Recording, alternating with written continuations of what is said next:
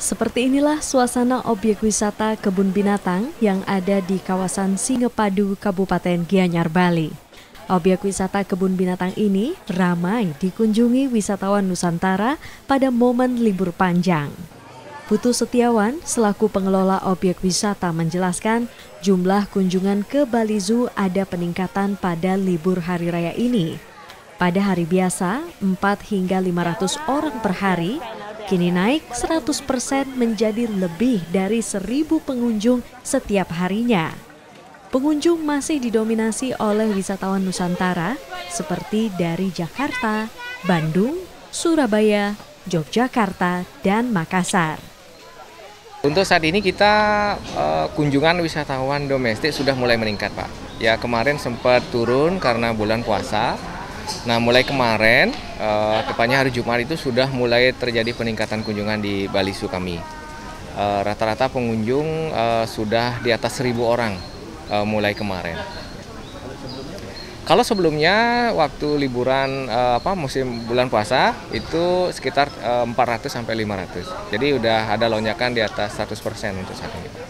Uh, mayoritas pengunjung kami saat ini dari Jawa Timur, dari Surabaya, dari Jakarta, uh, Bandung, uh, termasuk juga dari Makassar, ya, mostly uh, wisatawan Nusantara. Sementara para pengunjung mengaku Bali masih menjadi tempat favorit untuk berlibur bersama keluarga.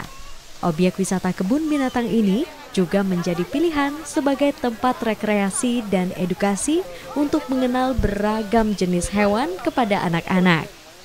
Mas saya Alin. Uh, Alin, ibu dari mana bu? Saya dari Jakarta. Uh, liburan?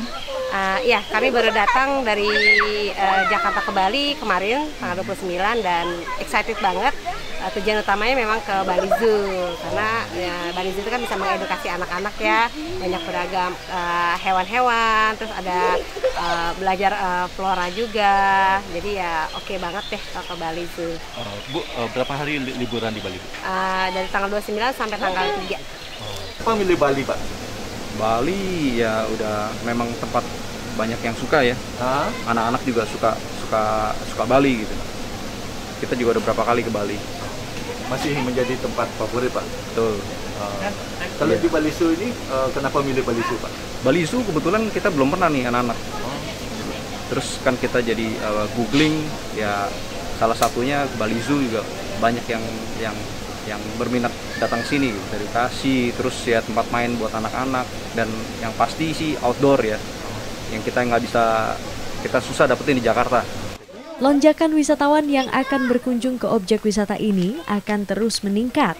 Untuk mengantisipasi lonjakan pengunjung, pihak pengelola juga telah membuka tiket online dan seluruh fasilitas pengunjung seperti kolam renang, tempat show hewan agar tidak terjadi penumpukan pada satu titik tempat. Komang Suarbawa, Kompas TV, Gianyar, Bali.